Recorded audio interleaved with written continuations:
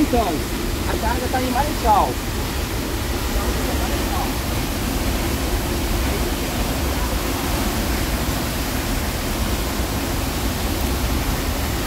A partir daqui não é recomendado descer sem equipamento, tá pessoal? Ah, tá. tá. Na tá segurança de vocês, muita ah. terra.